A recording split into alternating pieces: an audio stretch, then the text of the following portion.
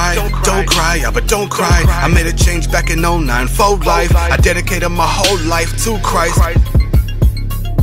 You shine. Jesus.